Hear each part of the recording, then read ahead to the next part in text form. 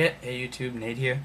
Uh, this is a response to the Blue Hour, really quick video. Um, he just wants to know two or three characters that you want to see in Super Smash Brothers, like the next game they make.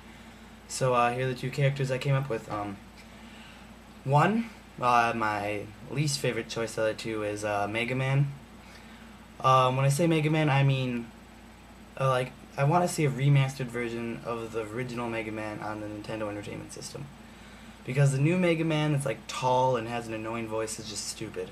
I want the short Mega Man that like never talks. That would be cool.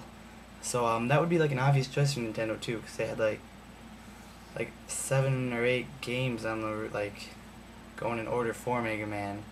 I don't know the exact number, but then eventually it went to Sony and they made a bunch of games there. But anywho, next game or the next character is uh gonna be Gray Fox from uh, Metal Gear Solid.